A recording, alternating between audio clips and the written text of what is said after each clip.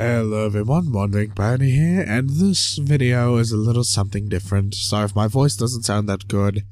Uh, something's in my throat. Sorry. Uh, so for those of you who don't know, there was a guy by the name of Mash Gamer Y Joystick who's drawn multiple pictures of fan art for me. Uh, some of which I've used for my profile picture. My last few pro- my last few profile pictures have been fan art that Mash has drawn.